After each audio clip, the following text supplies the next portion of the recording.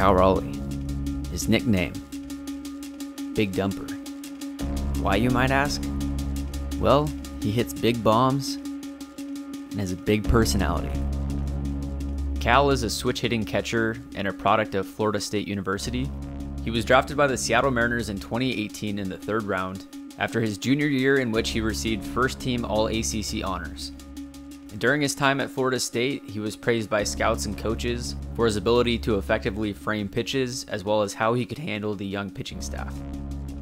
In 2018, the year that Cal was drafted, the Mariners finished third in the AL West, once again missing the playoffs.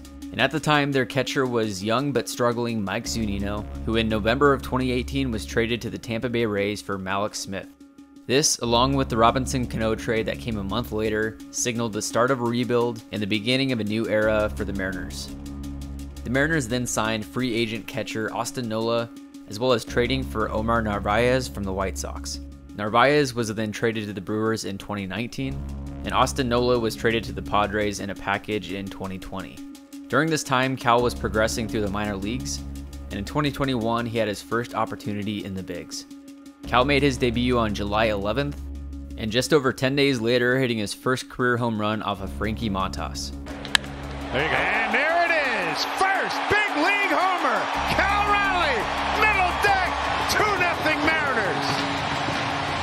Cal would finish out 2021 platooning with Tom Murphy and Luis Torrens, looking for a breakout season in 2022. And a breakout is exactly what we're looking at. Deep center field, big time carry. Hicks looking up, it's gone. Cal Raleigh with a home run. Cal started off 2022 in a bit of a slump, and after being sent down to AAA, Tom Murphy, the Mariners starting catcher, got injured, and after just seven minor league games, Cal was back in Seattle. Before being sent to Tacoma, Cal was batting 083 with just two hits, one home run, and a 214 on base percentage. However, in the next two and a half months, he would bat 227 with 42 hits, 13 home runs, 36 RBIs, with a 298 on base percentage. And now, sitting here in mid August after today's game against the Angels, where he hit two home runs, Cal now leads all MLB catchers with 18 home runs. He's an ace, and then you see him on the offensive side. Oh my oh, goodness! What a rip! Raleigh again. Oh my God! Cal Raleigh muscles up for his second home run of the afternoon with authority. And yeah, you just lost to YouTube MVP Cal Raleigh. On top of leading all catchers in home runs, Cal is fourth among catchers in the percentage of barrels per plate appearance. He's third in average exit velocity and third in at bats per home run. If you're not a Mariner fan, you may not even know who Cal Raleigh is.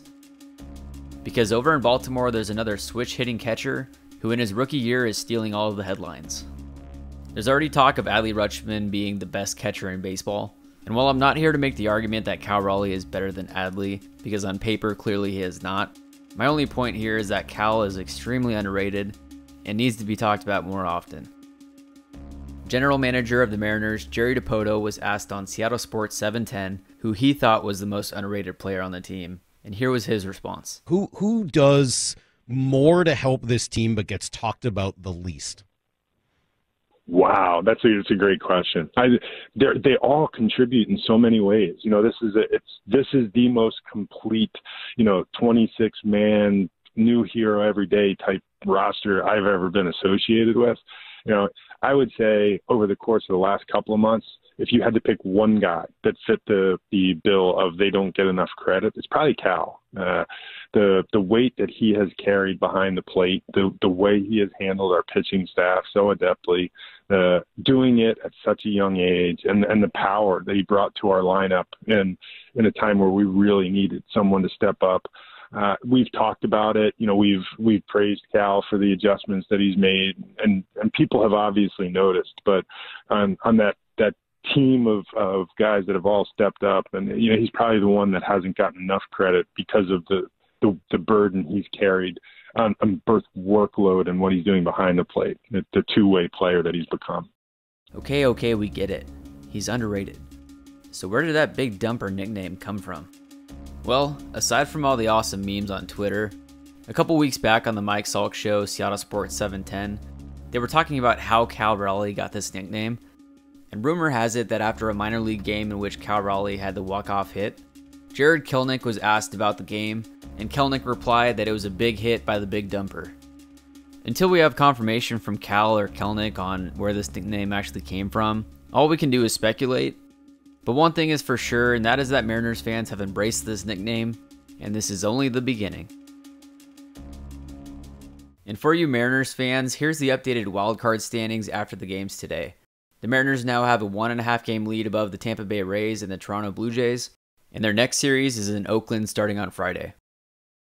Thank you for watching, and if you like this video, make sure to hit that like button, subscribe to the channel, give it a share, and we'll see you next time. All right, guys, goodbye, Zonny. Don't forget it. Stop it.